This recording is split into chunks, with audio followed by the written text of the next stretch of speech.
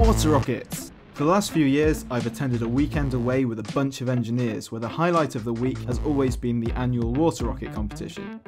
This, without fail, features all sorts of mishaps with little regard for safety and some pretty interesting rocket designs. This year, people were really upping the stakes, so I decided to weigh in with something new a flying wing powered only by water and compressed air. This is a short video to show you what happened from build to blast off.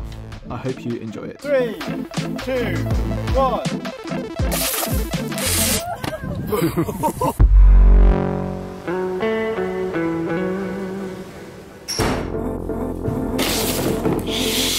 so what I'm thinking for this plane is that we need to use this uh, two litre bottle as the fuselage or the main sort of, well, fuel container.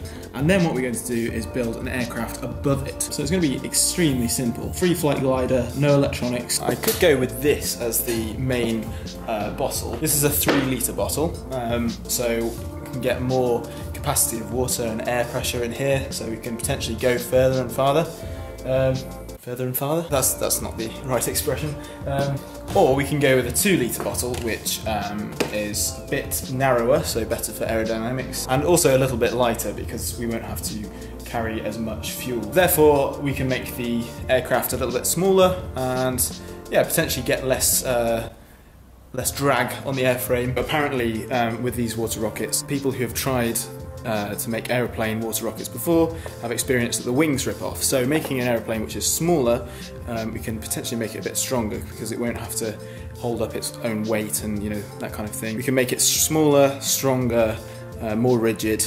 Um, there'll be less surface area to be affected by air resistance. Okay, let's put something together and see if it glides.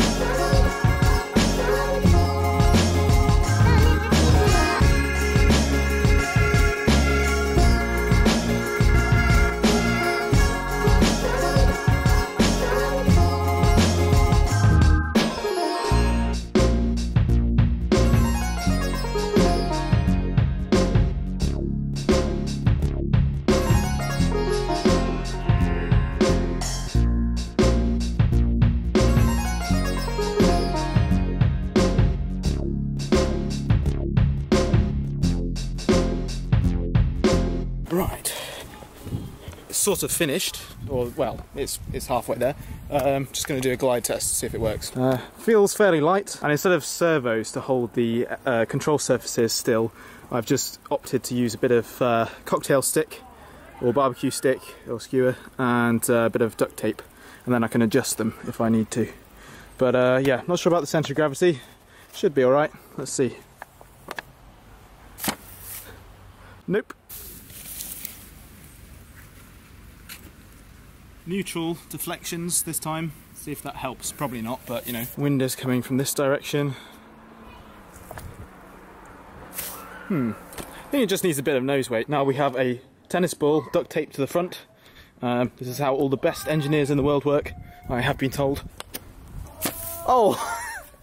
the opposite that time. Okay, I've put a bit of deflection on that. Fantastic! Ah, success. Alright, let's try that again a few times and see if we can get it absolutely ideal.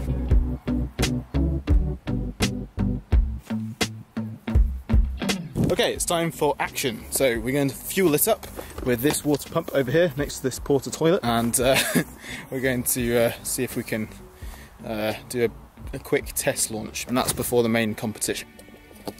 So this mechanism is controlled by this hand controller. It pulls this mechanism down and uh, the uh, this nozzle, this bit will come down and release the nozzle of the um, the aeroplane. So yeah, let's uh, see how it goes. It's just under two bar. Test launch one. Ready? Three, two, one. It's not going.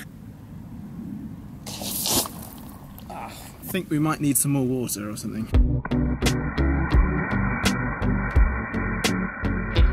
How many bar do we want?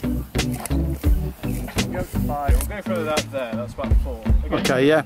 Ready? Three, two, one. That was a bit close. Three, two, one.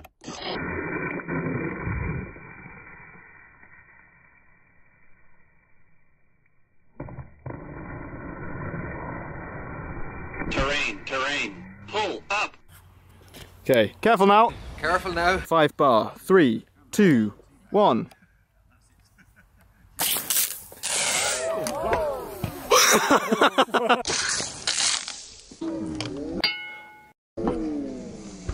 okay, this is the final attempt.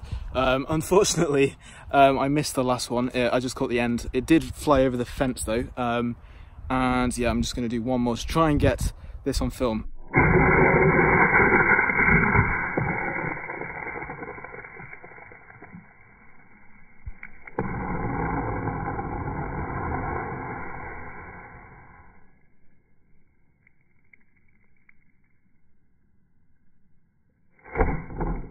Okay, that's about it for this video. Thanks so much for watching. I'm going to go and get some food. Like the video if you uh, if you liked it, and I will see you next time, I suppose. Cheers.